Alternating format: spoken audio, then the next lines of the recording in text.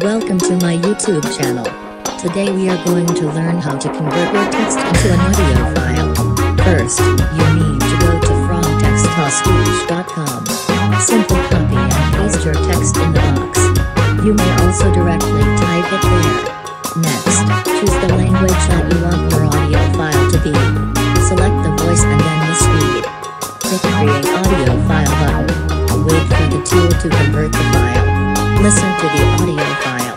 If you are satisfied with it, you can now download